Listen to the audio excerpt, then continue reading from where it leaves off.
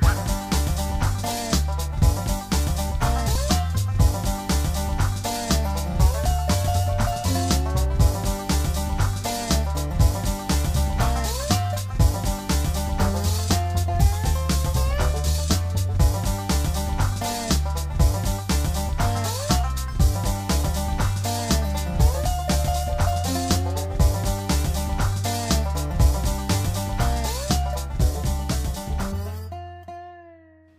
Hello everybody, Paul Nicholls here from Pausabni Traders. Welcome back. It's been a while since I've had a video up, but we've had some busy times. And I just want to let you, give you a little show as to what I've been All up right, to. so what we're looking at here is my take on the Dave Vandermeer floating beaver trap. It's pretty close to being identical to Dave's. Um, I have a handle on the back. I just use some pipe strapping and some screws to hold down the sides of the wire.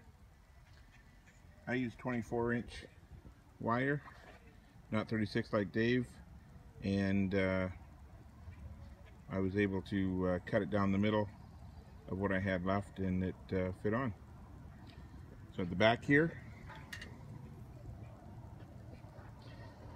uh, this is going to be my uh, snap for my tying to my pole. So just put it around the pole, snap it back on itself.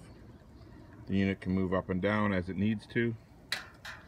I didn't have any of the black hose like what Dave had, but I had uh, this sitting around, so that's going to be my bait holder. Put my bait in it. I used 330 Belisles. So, as you can see here, I have them set up. And yes, those are the Scott Kneeland trap holder screws. They work pretty good. I built this to the same dimensions that Dave built his in his video and it works good for the Belisles. So we'll uh, take them out, see how they work. Got some nuisance, uh, some nuisance calls to do, and uh, a couple of them are in some spots that are tough to get to.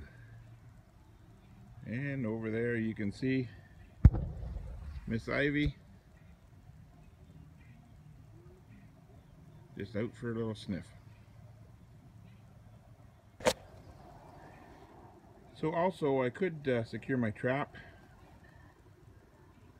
because I have the uh, snare wire on it here back to the uh, handle as well but I thought I didn't want uh, a lot of weight back there so I just put an eye leg in there and of course another quick link everybody knows I like those quick links uh, use them on my marten boxes and Fisher boxes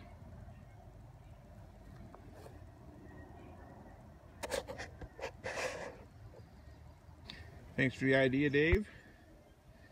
And uh, thanks also for uh, the uh, Scott Kneeland uh, screws there.